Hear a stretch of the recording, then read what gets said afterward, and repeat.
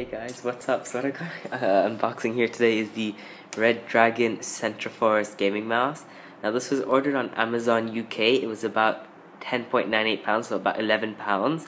And um, yeah, so it's pretty interesting. It's like a very budget gaming mouse. And um, even though it says Redragon, it's actually from TechNet. So they've created like a side company. So let's get to the unboxing. So I don't think that's the place where it opens. Oh yeah, wait, let's just go around the box. Um, so you have it's a 2000 DPI sensor. It's got eight weights right near the back. Uh, it's got six buttons, uh, a backlight, a gold-plated USB USB connector, at USB 2.0 I think, probably not 3.0, and it's got a braided cable which is really nice. Uh, so that's just the box there. Some stuff. If you want to pause it right there, you can take a look at that, and then some more. Yeah, USB, blah blah blah. Wait, what's that?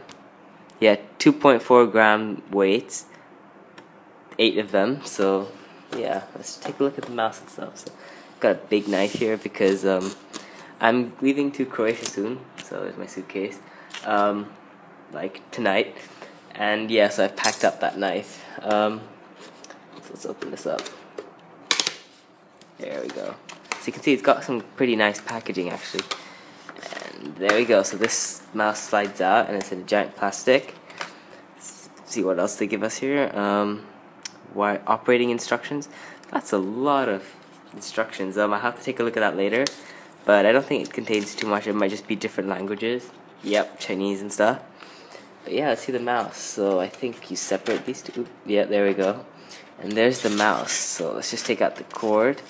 The cord actually looks really nice. You can actually see the cord, oh, it comes in a nice little Velcro holder, which is pretty nice. Um, oh, and it's permanently attached to the cable, which could get annoying, I suppose.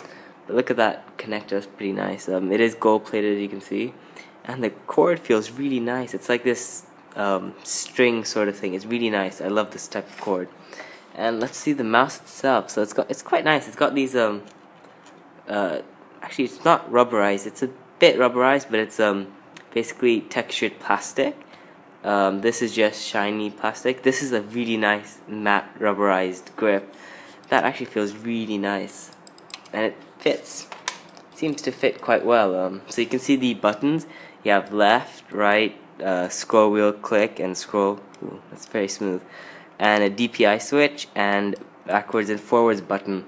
Now this is actually really useful for like first person shooters I suppose. So if you're a sniper you can press this uh, you know, steadier aim or you know something like that. It's not as good as the really professional ones you see, which have uh, lots more control, like changing the DPI itself.